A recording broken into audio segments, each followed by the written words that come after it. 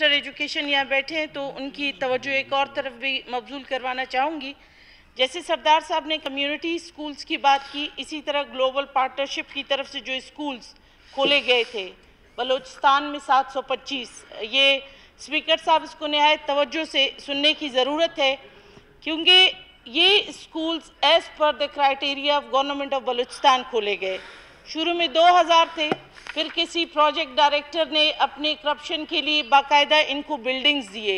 725 buildings बनाए, हर building की इस वक्त अगर आप एस्टिमेटेड कॉस्ट लगाएँ तो 70 लाख से लेकर एक करोड़ तक एक बिल्डिंग इन्होंने बनवाई अपने कमीशंस के लिए। उसके बाद तकरीबन 1500 के करीब टीचर्स जो है ना 725 स्कूल जो प्राइमरी खोले गए 100 के करीब प्राइमरी टू मिडल किए गए और फिर 50 के करीब मिडल टू हाई स्कूल हुए। अपग्रेडेशंस भी इसमें हैं। उन्होंने इन तमाम टीचर्स का बाकायदा एन टेस्ट लिया।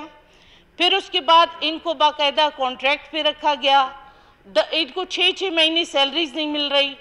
हर स्कूल में अगर आप एक स्कूल के बच्चों की तादाद निकालें इस वक्त जनाब स्पीकर और मिनिस्टर साहब मौजूद हैं तो तकरीबन लाखों की तादाद इस वक्त जो बच्चे हैं, वो इन स्कूल्स में एनरोल्ड हैं। अगर हम ये 1500 टीचर्स को निकाल देते हैं, जो इस वक्त सरापा जाज अपने बच्चों के साथ, आप और सरदार बाबर भी उनके पास गए थे तो अगर हम ये 1500 टीचर्स निकाल देते तो वो 1500 टीचर्स सिर्फ़ नहीं हैं। आपके बलूचिस्तान के चार से पाँच लाख के करीब बच्चे हैं, जिनको हम आउट ऑफ़ स्कूल कर रहे हैं ड्रॉप आउट आप ये कह रहे हैं कि वो क्योंकि एक एनजीओ ने दिए थे। सरदार साहब, एनजीओ एक अप्रूवल के साथ आता है। आपका एक डिपार्टमेंट है जिसे पीएनडी कहते हैं। पीएनडी में बाकायदा फॉरन जितने भी डोनर्स हैं, उसके लिए बाकायदा आपका एक डिपार्टमेंट बनाया है। जितने भी डोनर्स पैसे लेके आते बाकायदा वो उसको डील करता है एमओयू साइन करता है। लोगों को आप डिप्लॉय करते हो, आप जॉब्स देते हो एनटीएस की मद में चार पाँच साल वो वहाँ पे सर्विसेज़ अपने डिलीवर कर रहे हैं। जहाँ तक कोडिंग की बात की है, Balochistan education management information system जिसे हम बीमेस कहते हैं। आपके डायरेक्ट्रेट में बाकायदा एक जिम्मेदार, ये आपका डिपार्टमेंट है। जब कभी आपके किसी भी स्कूल को बीमिस कोड अलॉट किया जाता है तो it's mean that is the property of government of Balochistan. वो किसी एनजीओ का नहीं रहता नंबर वन इसको ज़रा हम क्लियरफाई करें।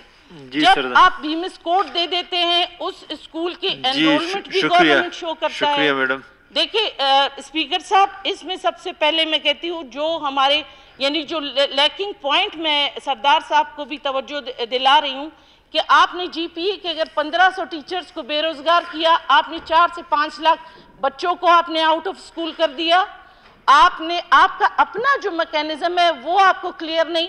आपका जो फॉरेन डिपार्टमेंट डोनर्स को डील कर रहे हैं पीएनडी फिर वो किस लिए बैठा हुआ है? Why he is doing MOU with donors और उसके बाद आप बीमिस भी अलॉट करते हो। आप क्लेम करते हो गवर्नमेंट ऑफ़ बलूचिस्तान की ये पाँच लाख छः लाख बच्चे हमारे एनरोलमेंट पे हैं। तो आप इसका मतलब है कि आप सिर्फ़ उन 1500 टीचर्स को नहीं निकाल रहे हो। आप बलूचिस्तान के पाँच लाख बच्चों को आउट ऑफ़ स्कूल कर रहे हो। तो इसमें जो है ना कसूरवार वो डोनर भी नहीं है इसमें टोटल कसूरवार गवर्नमेंट ही ठहरेगा। पिछले हों चाहे इस वक्त के हो थोड़ा सा इसको इसके मैकेनिज्म को रिव्यू करने की ज़रूरत है कि आपका फॉरेन एड जो बैठा हुआ है पीएनडी में फिर वो क्या कर रहा है?